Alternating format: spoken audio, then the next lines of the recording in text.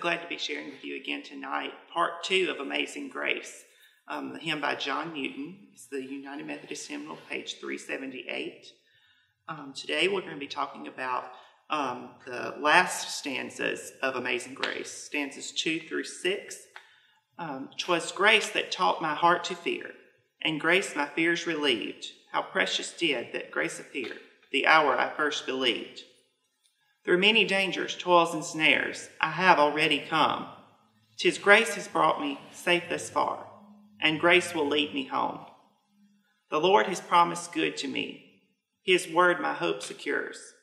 He will my shield and portion be, as long as life endures. Yes, when this flesh and heart shall fail, and mortal life shall cease, I shall possess within the veil a life of joy and peace. The earth shall soon dissolve like snow, the sun forbear to shine, but God who called me here below will be forever mine. A quick reading of stanzas 2 through 6 as they appear in their original publication, The Olney Hymns in 1779, may be informative for many readers. Stanzas 2 and 3 appear in virtually all hymnals, and some include stanza 4. Few hymnals produced in the United States include stanzas 5 and 6. Stanzas 1 and 2 address the first large section of Newton's New Year's Day sermon in 1773 Who Am I? Stanza 2, cited above, seems to have been drawn from Newton's sermon notes that day. 1.2 Rebellious, blinded by the God of this world, we had not so much a desire of deliverance. Instead of desiring the Lord's help, we breathed a spirit of defiance against him. His mercy came to us not only undeserved, but undesired. Yea, a few of us but resisted his calls. And when he knocked at the door of our hearts, endeavored to shut him out till he overcame us by the power of his grace. Stanzas 3 and 4 relate closely to part 2 of the sermon that day, that thou hast brought me hitherto. A particular sentence in the scripture of the day is relevant here. Who am I, O Lord? And who is mine house? that thou hast brought me hitherto. 1 Chronicles 17 16. Newton's brief notes on this section follow. Here, let us look back. 2.1 Before conversion, his providential care preserving us from a thousand seen, millions of unseen dangers when we knew not of him. His secret guidance, leading us by a way which we knew not, till his time of love came. While it may be overreaching to ascribe too much direct autobiographical influence in this hymn, one can well imagine that Newton may have inserted an example from his days as a seafaring captain with a cargo of enslaved Africans weathering stormy seas that threatened the lives of all on board. Indeed, it is likely that Africans were lost on every Middle Passage voyage from their homeland to the New World.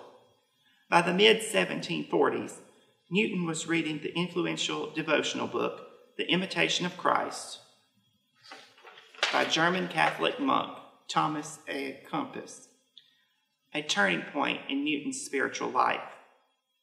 The first three stanzas cite the word grace six times. Stanza four, the Lord has promised good to me, rounds out the two stanzas addressing part two of the sermon outline. 2.3 Mercy and goodness have followed us. In temporals, he has led and fed us. The original stanzas 5 and 6 are the least known and rarely used in the current hymnals in the U.S. The United Methodist hymnal in 1989 is unusual in the fact that it includes five of the originals of the six stanzas virtually intact. The last two stanzas parallel part three of the sermon. You have spoken about the future. Perhaps most surprising is the awareness of the oft printed final stanza in hymnals in the United States, which was not part of the original hymn. When we've been there 10,000 years, bright shining as the sun, we've no less days to sing God's praise than when we first begun. Rarely, if ever, used in English language hymnals outside of the United States, this stanza was located in a collection of sacred ballads in 1790, where it was appended to Jerusalem, My Happy Home. American gospel song composer E.O. Excell is credited with attaching this stanza to the end of Newton's Amazing Grace in his coronation hymns for the Church Sunday School, Chicago, 1910.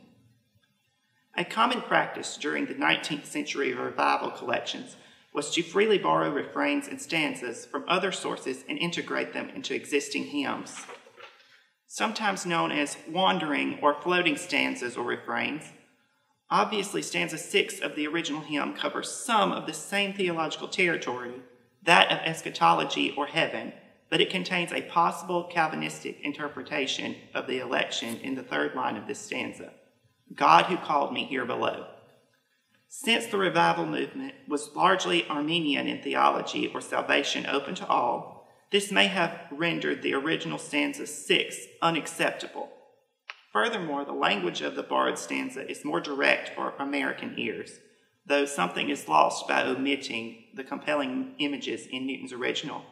The earth shall soon dissolve like snow, the sun forbear to shine. Newton leaves us a curious note at the conclusion of his sermon in his own hand.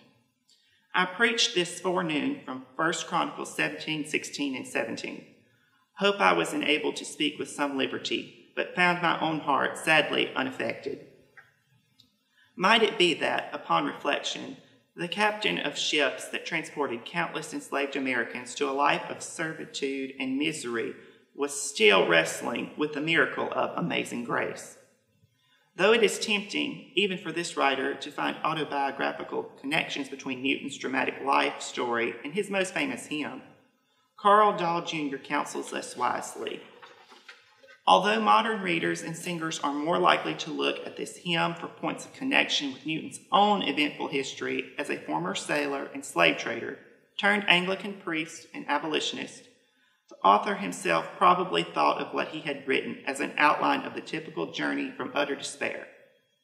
1.2, a wretch like me, to confident faith in 3.4 of the sermon, grace will lead me home. That assumption of speaking to a general human condition accounts, at least partly, for the widespread use of this hymn. In other cultural contexts, of Amazing Grace, the United Methodist Hymnal published anonymous phonetic transcriptions of a stanza in four Native American languages Cherokee, Kiowa, Creek, and Choctaw that are sung to the tune of Amazing Grace.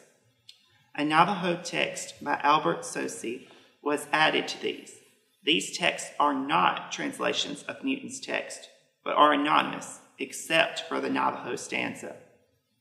Stanzas on the Second Coming, reflecting more closely the theme of the anonymous final English language stanza appended later to Newton's text. A similar approach was taken in the Presbyterian Church USA hymnal Glory to God in 2013.